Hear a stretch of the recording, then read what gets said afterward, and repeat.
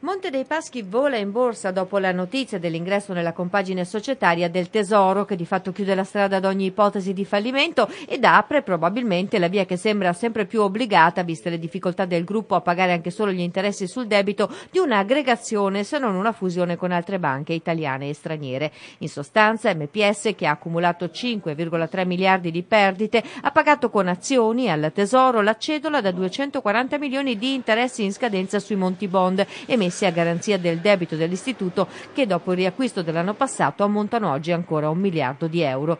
La notizia è stata accolta positivamente non solo dalla borsa, ecco come l'ha commentata Gian Maria Gross Pietro, presidente del Consiglio di gestione di Intesa San Paolo.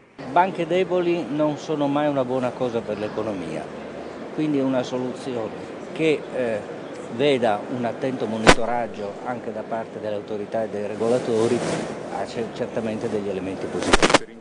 Il Tesoro quindi diventa azionista al 10% della banca senese. Quanto a un possibile interesse di intesa all'acquisizione di quote MPS, ecco la risposta.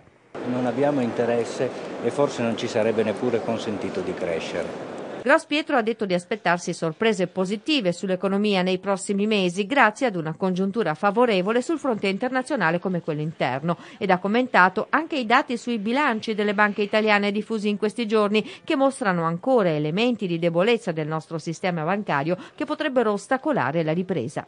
Le pulizie nei bilanci sono rese necessarie dal peso delle sofferenze che a loro volta sono l'effetto degli anni veramente pesanti che hanno attraversato le imprese italiane. Noi speriamo che eh, la situazione sia destinata a migliorare, qualche segno in questa direzione lo abbiamo già visto, non ci nascondiamo che le imprese che hanno attraversato diversi anni di difficoltà mm, richiederanno del tempo per rimettersi in carreggiata. Per noi però è importante selezionare bene il credito verso le imprese che sono in grado di aumentare le esportazioni e comunque in generale il fatturato e quindi di provocare una crescita generale dell'economia.